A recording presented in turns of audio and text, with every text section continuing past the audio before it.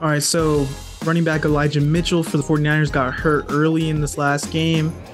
Jeff Wilson Jr. took over, but the run game pretty much died out with Elijah Mitchell. What are you what are you hoping for moving forward? What do you think is going to happen with this running back room? Man, so claw frog, claw frog, raw dogs. Number one running back, Elijah Mitchell's hurt. And for those who don't know, that is my fantasy team. So I'm a big hurt about it. But yeah, I think uh, it was weird to see the run game die off as much as it did because you've seen flashes from Jeff Wilson. I was surprised that they didn't play um like Deebo running back a little bit more, but I know moving forward that they're going to have the the battle between Jordan Mason and TDP to see who's going to be that RB2. But I'm expecting a, a healthy amount of Deebo Samuel at the the wide back position. I know you you said you didn't want to be wide back, but you got paid. Let's go.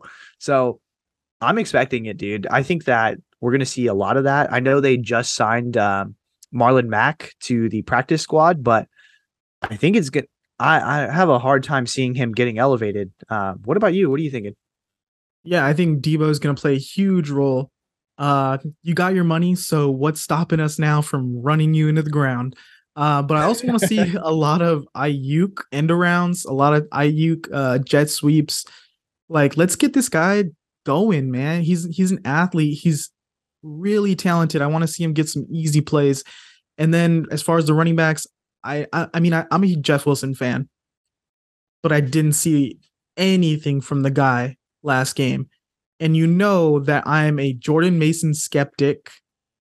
Uh I don't think he's like as amazing as everyone points him out to be, but I will give him credit. He is explosive, and I I, I want to see him against some ones. Let's give Jordan Mason some run.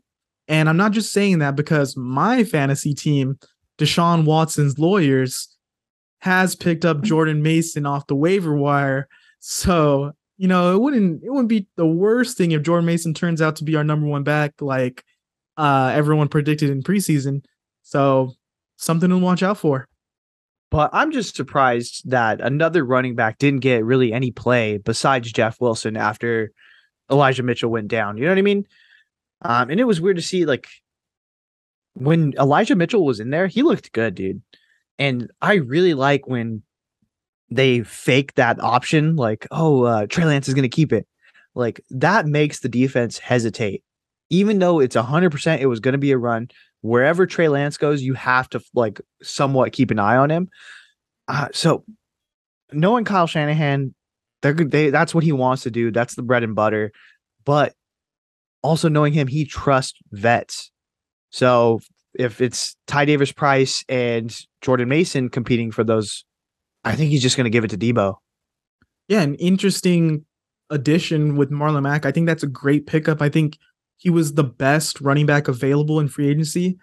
And he's a veteran. He's coming off injury, but he's someone that was explosive when he played and he had his moments. I thought he kind of was a victim of circumstance in a loaded Indianapolis running back room.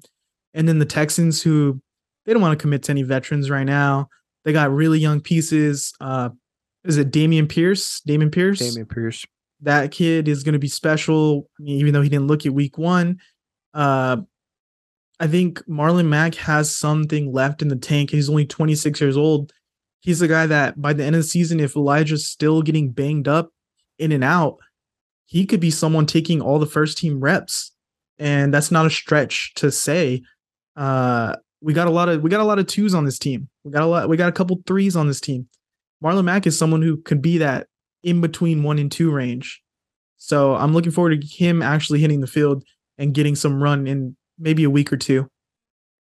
I mean, we'll see, dude. We'll see how much he actually has left in the tank. To be honest, I'm not really expecting much. He got cut from the Texans. He didn't. I thought he looked better in preseason. I think he was getting his explosiveness explosiveness back, and I was excited to actually see him in Houston as their lead back. But you lose out to Rex Burkhead.